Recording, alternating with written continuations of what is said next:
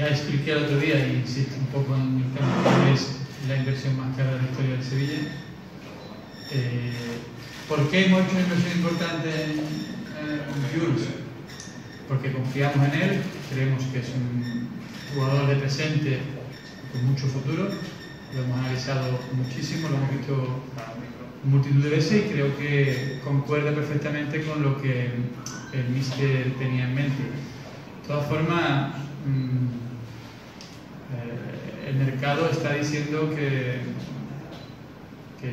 las cantidades que se están pagando por jugadores son muy superiores en muchos casos a, a de Jules, ¿no?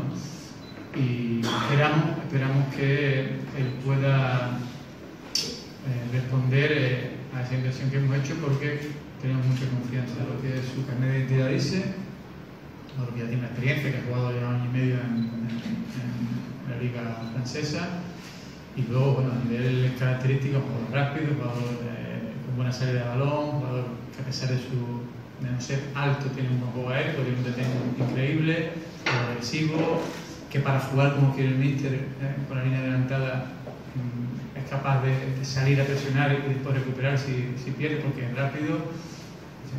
Hemos analizado lo que el míster quería y en el mercado mm, hemos visto que, que Jules daba esa posibilidad, lo que vale un jugador al 100%. Evidentemente ya hay mucho adelantado en ese terreno.